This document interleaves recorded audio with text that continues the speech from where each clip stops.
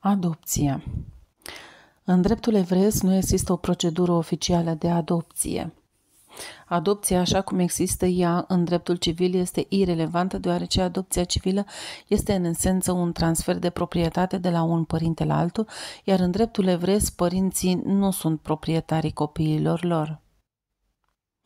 Cu toate acestea, iudaismul are anumite legi care sunt relevante în circumstanțele în care un copil este crescut de o altă persoană decât părinții biologici.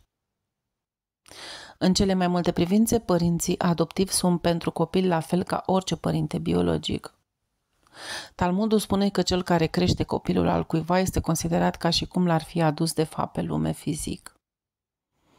Pentru cei care nu pot avea un copil, uh, un copil propriu, creșterea copiilor adoptivi satisface obligația de a fi roditori și de a se înmulți. Copilul poate fi numit în mod oficial uh, ca fiind copilul părinților adoptivi, datorează părinților adoptivi aceeași datorie de respect pe care ar trebui să o aibă față de un părinte biologic și respectă dolul oficial pentru părinții adoptivi, așa cum ar face-o pentru părinții biologici.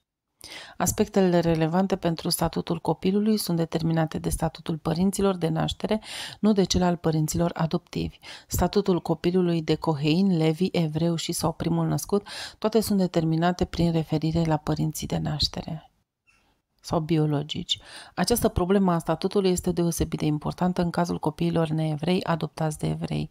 Conform legii tradiționale evreiești, copiii născuți din părinți neevrei nu sunt evrei decât dacă sunt convertiți indiferent de cine i-a crescut sau de cum au fost crescuți. Statutul de evreu este mai mult o chestiune de cetățenie decât o chestiune de credință. Dacă părinții evrei adoptă un copil neevreu, copilul trebuie convertit.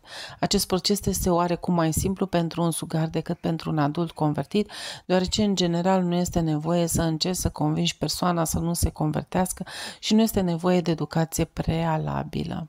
Este într-adevăr mai mult o formalitate. Conversia trebuie aprobată de un uh, beit din curtea rabinică, uh, trebuie efectuată o circumcizie sau uh, hatafat damprit, copilul trebuie să fie scufundat într-o micva cușer și părinții trebuie să se angajeze să-l educe ca evreu.